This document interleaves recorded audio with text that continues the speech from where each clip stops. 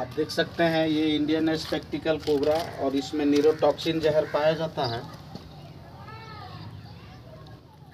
इसको कल रात में हम लोग एक घर से रेस्क्यू किए थे, जो एक छज्जा के ऊपर चढ़ा हुआ था। और ये बहुत शांत और भूखा लग रहा है दोस्तों।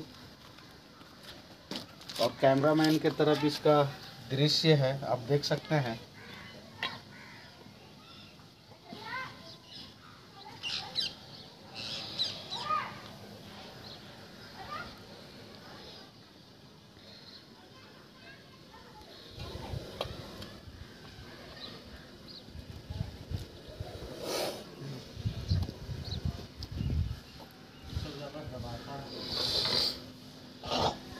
इंडिकेट करता है। तो जीव निकल रहा है ना तो इसका हरकत जो है ना कब रहा